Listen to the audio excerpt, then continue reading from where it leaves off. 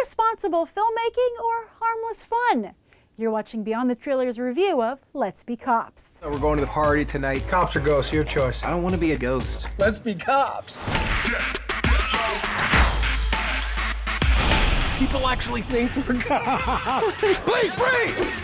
Oh, that was awesome. Whoa, whoa, what do we have here? Officers, this is. Is this for real? Damn! How far are we planning on taking this? Where'd you get this thing? eBay, dude. This is super illegal, right? This, no. No? Wow. When the first trailer for Let's Be Cops debuted, I was appalled. No matter how funny it might be, you simply cannot decide to be a police officer. It's dangerous to you, it's dangerous to those who think you're cops. And while many people told me I was being a giant buzzkill, being robbed or worse by someone pretending to be a police officer is a bigger buzzkill, which it turns out is what most people who pretend to be police officers have in mind. But not Jake Johnson and Damon Wayans Jr. What they have in mind is a movie career. Both currently star on Fox's formerly white hot sitcom New Girl, where Johnson received special attention as Zooey Deschanel's love interest. His new unlikely heartthrob status led to several indie film roles, including Drinking Buddies and Safety Not Guaranteed.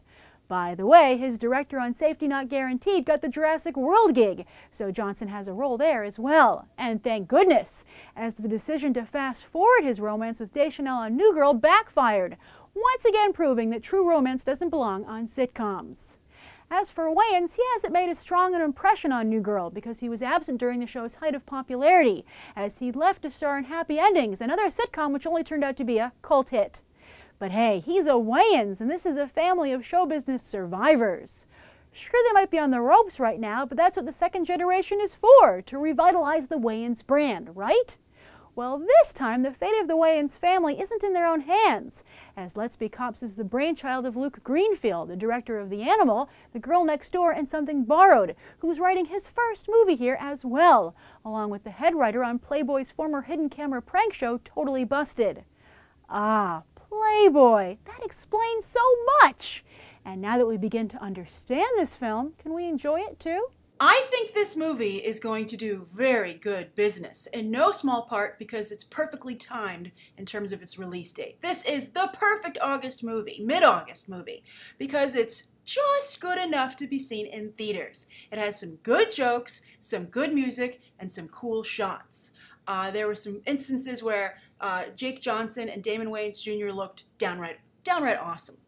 Uh, but my, the problem with the film, I think, is that the trailer is misleading. So again, this is another situation where you should lower your expectations. It's not as uh, fast-paced or energetic, and the laughs don't come quite as quickly uh, as they as they do in the trailer. What actually slows the film down is quite a bit of plot, which I did not expect. Although I think the plot's handled pretty well. There was one big writing problem that really uh, bothered me, which I'll get to in a moment. Uh, but the way I would describe this film is a, a, a new girl feature film because uh, both these actors are featured, uh, you know, prominently on New Girl, especially right now. Uh, and this just, it's very similar humor, very similar group dynamic. In fact, there's a scene in the film where they have to go do surveillance and they spot an apartment and it looks just like the apartment from New Girl. And I was so expecting when they knocked on the door for Zooey Deschanel to be doing a guest spot. She would have totally fit into the film. It's very similar to, to that to that um, property. So if you like New Girl, I think you're going to enjoy this film. Uh, what didn't I like about the writing? Well, there's a big uh, blind spot, or something actually doesn't make sense. Uh, Damon Wayans Jr.'s character is supposed to be a game designer, and he's designing a game about being a police officer, and that's how they have these police officer uniforms, because he has them for a presentation. I don't want to give too much away. Uh, this all takes place early on in the film.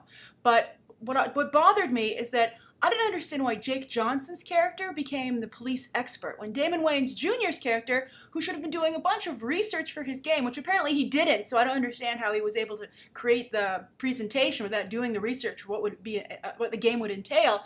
I think it would have been actually very smart to have his character be the one who knew everything about police work, etc., because of the, developing this game instead of just having the idea for it. That would have actually, I think, made for a somewhat smart film that could have been like a surprise cult hit. Uh, but instead, I think you just have like, you know, a dumb fun film. And there's nothing wrong with that. Uh, and the fact that this film is fun is totally to the credit of Jake Johnson and Damon Wayans Jr. They do a great job. They elevate the material and they fully commit across the board. The film succeeds only because of them. And also because of Key from Key and Peele. He's very funny. It took me a moment to recognize him. Uh, you've seen him in the trailer, but I bet you didn't recognize him. He's the guy who pops up in the back seat of the police car. Uh, and he was really funny. He had a great scene with both of them. Uh, so I appreciated uh, his work as well. Now, some of you might be wondering, Grace, weren't you horribly offended by the trailer? And I was, as I talked about in the beginning of this review. But the reason I ended up not being offended by the film was uh, twofold. First, because I understood it came from people who'd worked for Playboy, I much had a much better idea of where it was coming from. So I was like, oh, okay, I get it. Um, and then the other reason was is that I think the film had a good ending. I think it handled an irresponsible uh, subject matter quite responsibly, uh, to the point where if you told me that people would watch this film and say, let's be real cops. I wouldn't be surprised at all. Uh, and I also wouldn't be surprised if you told me that, um, you know, police departments had secretly funded this movie to make it a, uh, a recruiting tool disguised as a, a, summer comedy. Because I think it really, it did make, see, be, uh, it did make being a police officer seem like a, like a great job. Uh, and, and they also highlighted the danger and the responsibility. So they didn't make it just look like, like it was a fun fest. They, they really did a good full body job of talking and, and uh, showing why somebody would want to be a police officer. So I think that really is commendable. So that's my review of Let's Be Cops. It's a it's a dumb summer comedy with some very good performances. So uh, you could see it in the theater if you really wanted to go to the movies, uh, but it would be I think a really good rental. It's not as good as some other police films. It's not as good as 22 Jump Street or Ride Along, which both came out this year and dealt with a very similar subject matter. Uh, but that's my review. Thank you so much for tuning in. Please write down below what you thought of the film, and you can check out some more episodes right now thank you